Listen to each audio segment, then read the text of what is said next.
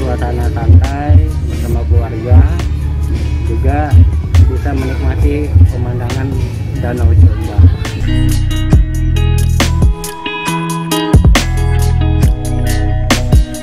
untuk eh, kunjungan eh, para pengunjung di sini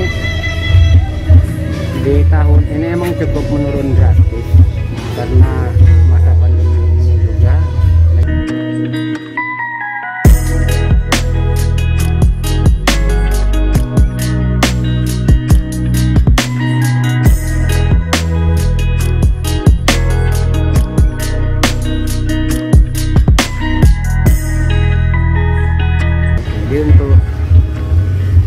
tahun ini sepertinya penurunan cukup drastis sekitar 70 persen lah 70% ya Pak. penurunannya.